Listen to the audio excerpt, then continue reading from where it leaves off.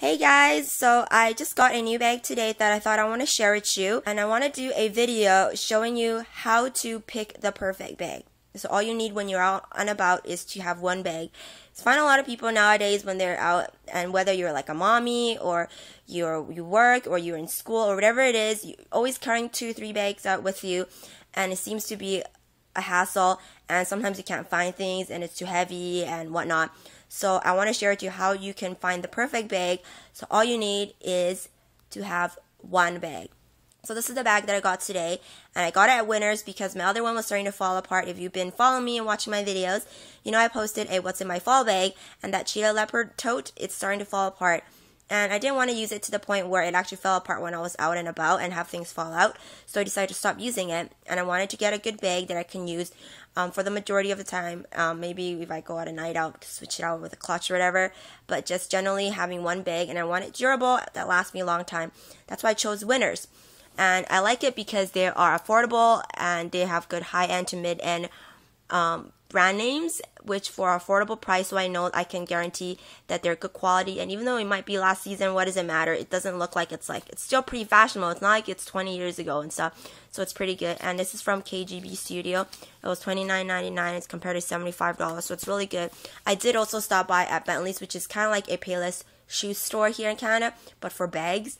And um, there was like around 30 40 dollars and i wasn't guaranteed that the quality was good or anything so i didn't end up getting bags there and i got one from winners. So without further rambling i'm gonna get into the video. And so for choosing a bag what's very very important is choosing the color because you're gonna be using this bag all the time so I would suggest you to pick a color that you know will fit most of your outfits. So most people, I would suggest getting black or brown because most people, black or brown is going to fit most of your outfits. Even if you wear very colorful outfits, you probably want a more neutral kind of bag to like tone things down. So pick a black or brown bag and this is a brown color. It's called coffee brown color. It's a bit lighter in person. It's not as dark as on the screen. I wish it was the color on the screen because this is really nice color. But nonetheless, I still like this color. And also pick a finishing that you really like because you're going to be using this bag and a style too because you're going to be carrying this bag around with you all the time.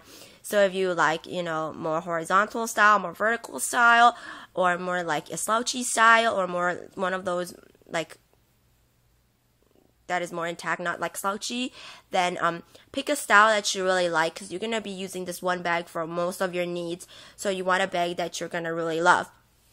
And also, when you're choosing a bag, um, I personally like to choose bags that have a lot of compartments on the outside. So you can have easy access to things so that you won't be fumbling inside when you just need something really, really quick when you're on the go.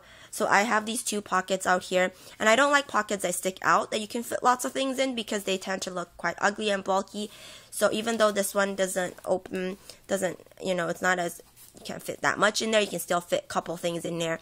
And also something that's easy for you to get to. So even though there's a pocket here, if you need to fumble through with the clasp and everything, then it might not be easy after all. So I like how this is just like a magnetic closure. So on both sides, it's the same thing.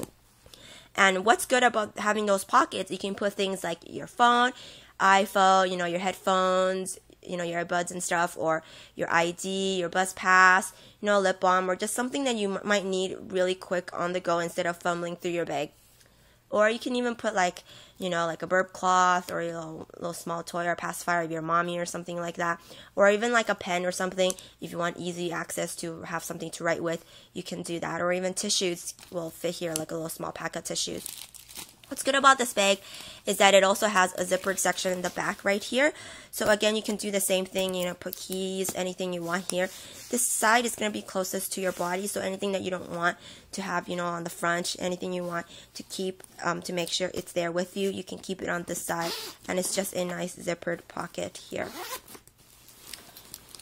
and also to pick a bag that has really thick straps so that they're more durable. And the two straps is better because in case one strap falls apart or whatever you can have the other strap to hold you in you know for the meantime. So it's good to have a bag that has two straps.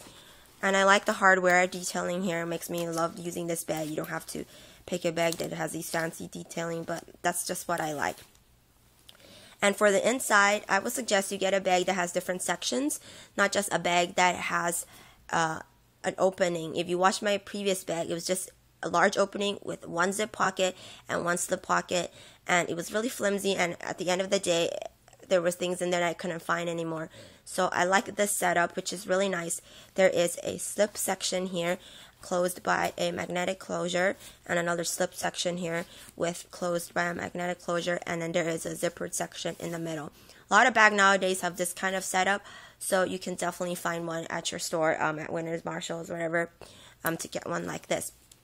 So what's good about setting these two sections is one can be for all your like businessy needs. I have a Filofax here. This is my personal Cuban, which I'll link a video in the below bar for you to go check it out. If you haven't seen my current setup. So you can have all your like businessy papers, even fit an iPad in here.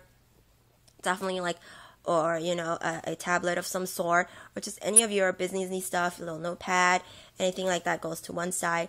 And then you can fit your lunch on one side so you don't have to carry a separate lunch bag. Um, maybe put it like in a ziploc or a little plastic bag or something so it doesn't get everywhere but you can stick your like sandwich you know your water bottle little snacks during the day if you're even if you're at school you want to have that accessible. To have it on here the side. So instead of carrying another bag another option if you're like a mommy you can put like some burp cloths some diapers some wipes on this side. You can put some bottles and little snacks for your kids like little cheerios and whatnot on one side. That's really great. And then you can have the middle section here for like your money anything you don't want to fall out and stuff like that. So this is what i have in the middle here. I have a my wallet and you can also put like mini emergency kit, like walking pharmacy kind of things like band aids, um, different things like that, and your makeup for touch ups, you know, blotting sheets, whatnot, all in this section, and your feminine products too. So in here, there's a slip pocket with the clasp. Put some feminine products, some more feminine products here. These are two slip pockets. Here, I put a Tylenol in case you know I get headaches and stuff, so you can, or um, whatever you want to put in here. That's great. And this zip section is really awesome because you can stick your makeup in here mini emergency kit if you don't have a lot of items. You can definitely stick it in this zip section so you don't have to have a separate pouch, but I decided to put in a separate pouch. And then here is just my wallet so you keep your money and stuff like that. So this definitely will help you and you definitely don't need like three bags. I can already tell this can be like one bag and then this can be like another bag like more office work businessy stuff and then here you can have like a snack lunch bag just like three bags and so mm, this is all into one. So i hope you enjoyed this video and got some tips on how to choose the perfect bag and how to choose just one bag for all your needs. And i'll see you next time. Stay organized